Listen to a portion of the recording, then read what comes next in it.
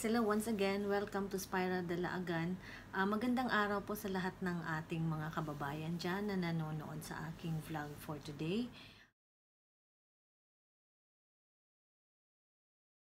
So bakit ko po naisipang i-discuss sa inyo itong sakit na ito? Kasi nagtatrabaho ako sa isang emergency department or isa akong emergency room nurse. So kaya halos araw-araw ine-expect namin itong mga kasong ito. Uh, what does it mean? So ang, ang ibig sabihin lang po, ganun po siya kataas yung percentage na pwedeng mangyari sa isang tao, lalong-lalo na kung nagkakaedad na po tayo. Here, 40% ng heart attack is considered as fatal. So, what is heart attack? Uh, hindi po siya pang, isang pangkaraniwang sakit o nararamdaman ng isang tao.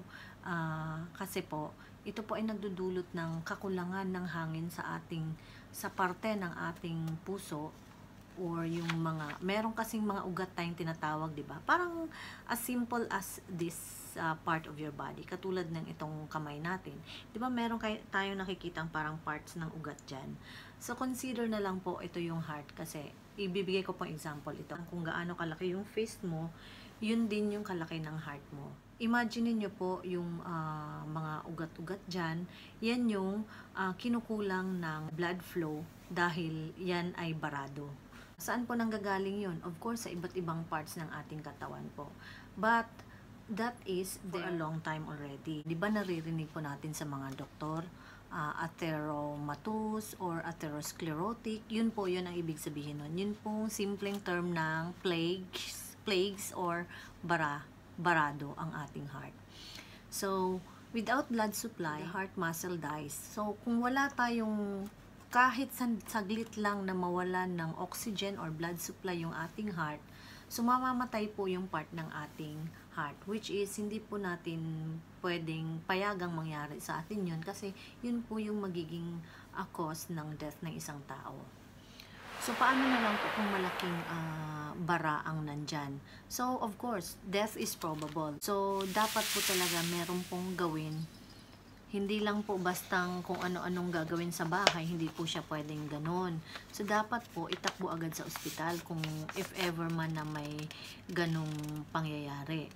So, meron po tayong uh, heart attack protocol na dapat nating sundin. Isang tao, pag may naramdamang kakaibang sakit sa ating dibdib, so dapat po agad-agad na bigyan ng nitroglycerin tablet. So ano po yon Sa ospital lang po yon meron. So if ever man po may naramdaman tayong kakaiba sa ating katawan, like panan paninikip ng dibdib or pa pagsakit ng ating puso, so meron pong uh, criteria yan. Yun, dapat po bigyan ka agad ng isang nitroglycerin tablet. 5 mg. So, yun po ang pinakaunang-unang ibibigay natin. So, after 5 minutes, kung, may, kung masakit pa rin po or mas lalong sumakit yung ating dibdib, kailangan na po tumawag sa 911 kung nasa Pilipinas po tayo. Kailangan na po nating tumawag ng emergency services. Or kung if ever man po na wala tayong gamot na nitroglycerin tablet, so kailangan po, yun po ang reason na kailangan tumawag agad tayo ng medical services. O pagkatapos nating tumawag ng ambulansya, uh, habang nasa ambulansya, kung may, uh, kung may aspirin, kayong dala or kung may aspirin ang isang ambulansya, dapat bigyan po agad ng 300 mg na aspirin. So, dapat po, chewable po siya dapat.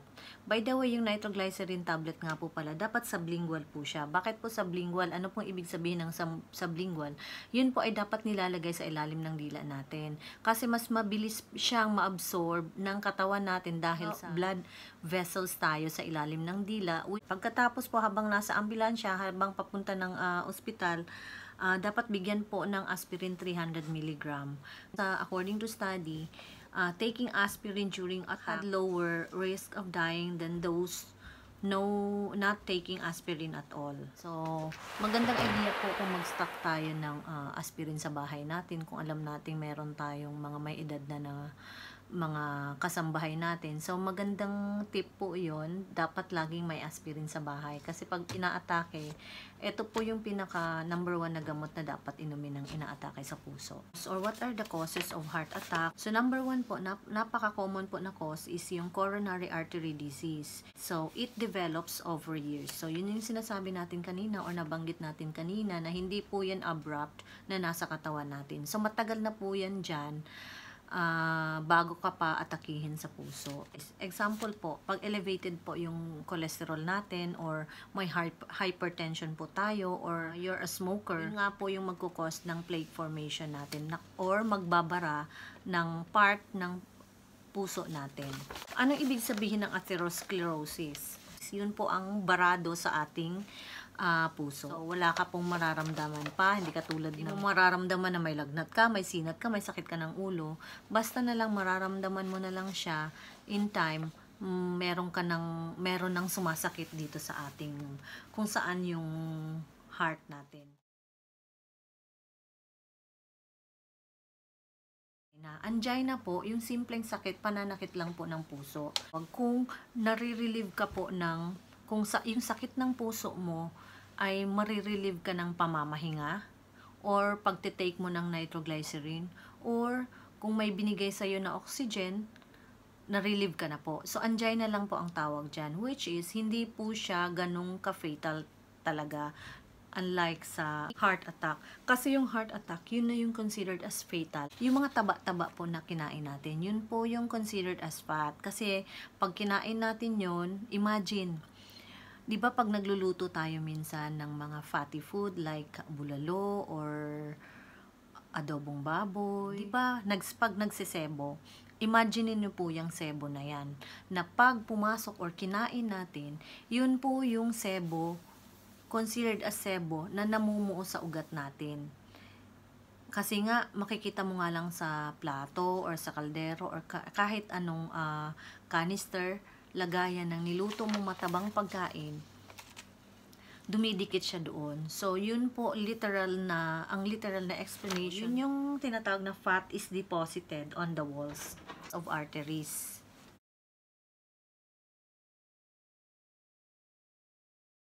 The effect of this is to decrease blood flow to a portion of heart muscle.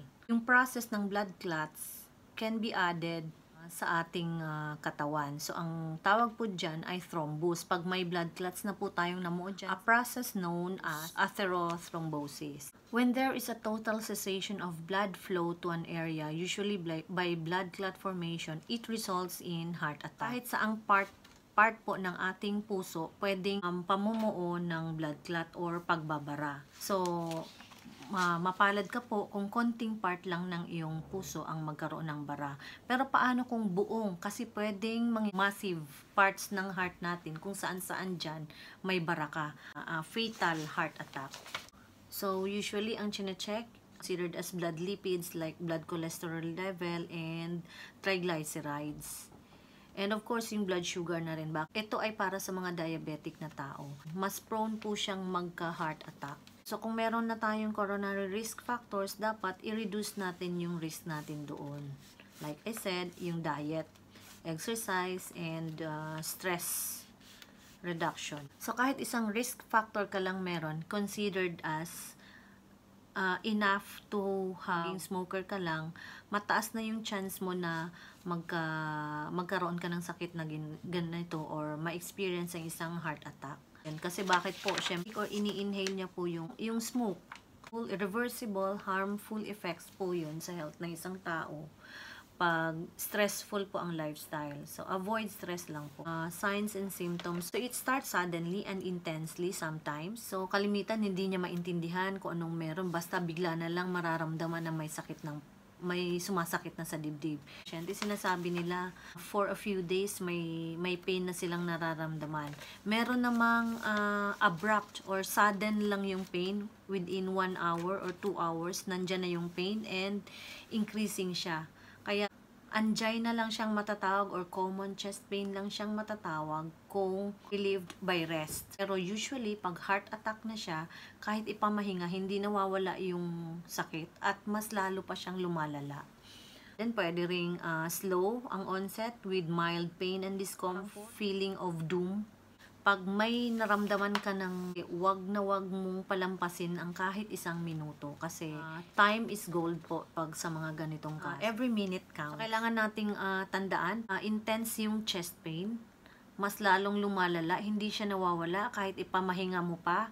So, isang senyalis na po yun, magpunta na po agad sa ospital o tumawag na ng emer- emergency services. Anong klase ng pain meron tayo sa heart natin? So, with pressure, parang dinadaganan, mabigat yung pakiramdam natin or parang burning sensation, parang mainit, tapos parang ini-squeeze, grip sensation. So, yun po yung klase ng pananakip ng dibdib na tandaan natin. So, pain may radiate to the shoulder, arms, neck, back, and upper abdomen. Bakit po? Kasi bakit po? Yan po yung malapit malapit sa heart natin. Kaya siya masakit na dyan kasi wala na siyang blood supply. Uh, black na po siya kaya hindi na nakakapunta sa ibang parts ng katawan. Kaya dito masakit sa shoulder, dito hanggang dyan yan. Pwede pang mag-radiate sa kabila. More sa left, kaya kahit dito pwedeng magkameron. Lalo na kung massive yung block natin sa heart natin. So, dyan, yan yung mga parts. At bakit po dito sa upper part ng abdomen. Dito, epigastric pain. Minsan may mga pasyente pang ano lang eh, abdominal pain lang. Pero kalimitan dito sa epigastrium. Kasi, ayan sa heart natin. Lalo na pag uh, inferior MI, which is napaka, yun yung considered as the most fatal time. Pain duration is more than 20 minutes, up to several hours. So, it does not respond to sublingual nitroglycerin. So, yun na yung ibig sabihin na may inaatake ka na sa puso. By the way, yung nitroglycerin tablets, dapat 3 tablets ang dapat inumin every 5 minutes. Sa una, uminom. Pangalawa, kung nandyan pa rin yung pain, tumawag na agad ng ambulansya. Tapos, inumin na yung, ilagay na sa ilalim ng dila yung pangalawang uh, tablet. Tapos after another 5 minutes, wala pa rin, maglagay ulit ng isa pa. So, pain may be accompanied by other signs like dizziness, fainting, nausea and vomiting, sweating, choking, and anxiety of doom. Uh, makikita mo isang pasyente, hindi niya alam kung anong gagawin niya, pati ikaw matatakot ka na. Kasi meron ding iba, may tinatawag ding silent MI or pasikretong atake sa puso. Basta lang maramdaman niya lang na masakit yung dibdib niya. Yun lang. Or minsan yung iba, masakit lang yung dito. Walang sakit ng dibdib. Dito lang ang masakit sa kanila. Mas nakakatakot po yun kasi hindi natin alam na may nangyayari na pala sa loob. So, if you have one or more of these signs, huwag hintayin. Bawal ang uh, delay. So, kung nasa bahay ka po, tumawag agad ng ambulansya uh, maraming pwedeng mangyari kung wala ka sa loob ng ospital kung ikaw ay naatake sa puso. So, pwedeng maging cause ng sudden death. This is considered as medical emergency, which is prevent preventable siya kung madala agad sa ospital. And napaka-crucial po yung first one hour ng heart attack time pag may mga may edad na tayong kasama sa bahay, mas maganda may nakatagong gamot na aspirin, at least 300 mg na aspirin sa bahay. Eh, may source ka po, pwedeng magtago ka na rin ng nitroglycerin. 5 mg, 3 tablets. So, mabibili po yun, of course, sa butika. And, uh, don't forget po, light sensitive po ang uh, nitroglycerin tablet. So, dapat nakastore siya sa container na uh, dark colored or kulay brown na container. And yun nga, bawal i-expose sa araw. Kasi magkakaroon ng discoloration. Ibig sabihin, pag discolored na siya, wag nang ibigay sa pasyente. Uh, kaso lang, dapat may monitoring ng blood pressure at saka heart rate. Hindi pwedeng magbigay kung ang systolic blood pressure or yung blood pressure na tinatawag, yung pinakaunang numero, like 120 over 80, ganyan.